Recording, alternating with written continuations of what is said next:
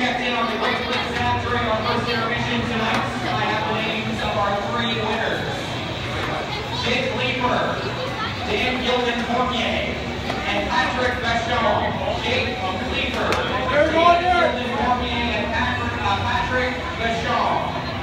Please make your way to the great table dinner.